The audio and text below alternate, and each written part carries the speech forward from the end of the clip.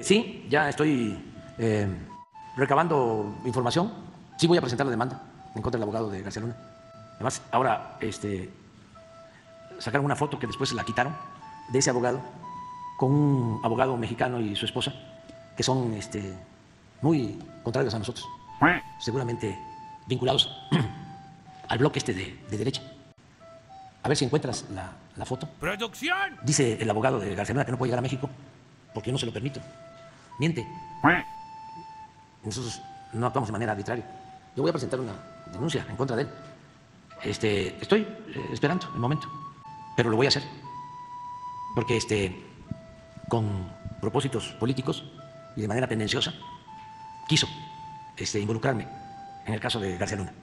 Y va a tener que aclararlo y vamos a pedir reparación del daño. Porque no es Andrés Manuel, o solo Andrés Manuel, es el presidente de México. Y este no puede cualquiera,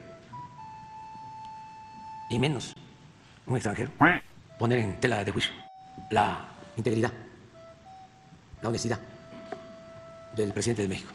Esta Gina Avilés parece que su esposo es un señor Katz. Sí, además miente. Imagínense un abogado que dice que yo no le permito que pise territorio mexicano. ¿Qué pruebas tiene? Está peor que los abogados huizacheros. Pero sí lo voy a, denunciar. Lo vamos a denunciar. Estamos viendo, porque lo vamos a hacer de manera oficial, porque ellos dependen de eh, la Fiscalía de Estados Unidos. Entonces es como un abogado, sí, de oficio, pero depende del gobierno, aun cuando eh, actúen aparentemente en forma independiente. Lo que sí es que si el daño moral es por dinero, va a ser para las víctimas. Apúntele bien. Para huérfanos eh, de este, quienes perdieron la vida, hijos de eh, padres que perdieron la vida, cuando este, había esta asociación delictuosa entre eh, el gobierno y la delincuencia.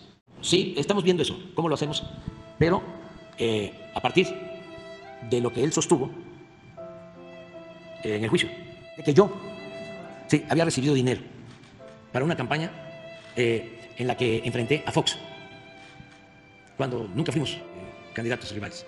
Abiertamente era involucrarme, eh, mancharme, calumniarme. Ya para que el señor Zambada tenga más, tengo la verdad, que el abogado, eh, buscan este, involucrarnos a nosotros para, este, eh, cuando menos, ¿no? lograr lo que siempre ha deseado la mafia del poder, el que se acepte de que todos somos iguales.